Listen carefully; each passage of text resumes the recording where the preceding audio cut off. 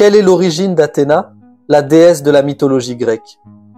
Les Grecs ont toujours donné l'origine géographique de leurs dieux et déesses. Le nom le plus ancien d'Athéna est Athéna Tritogénéa. Ce nom nous rappelle le lac Triton, situé au sud de la Tunisie, dans le golfe de Gabès. Chot el Gérid seraient les restes de ce lac autrefois imposant.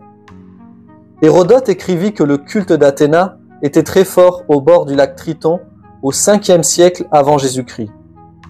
Il ajoute que l'égide d'Athéna, c'est-à-dire son armure, ainsi que son bouclier, ont été fabriqués dans la région du lac Triton, soit au sud de la Tunisie.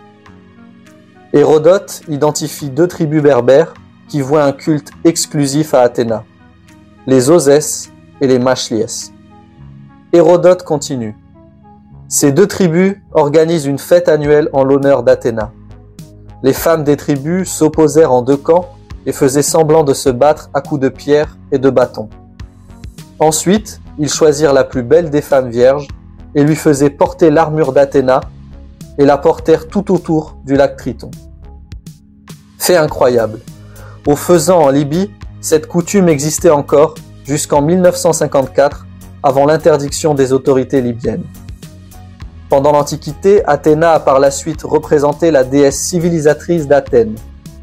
Il était probable qu'Athéna fut un personnage historique par la suite divinisé.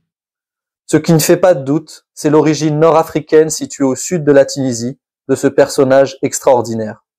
Ça fait réfléchir, hein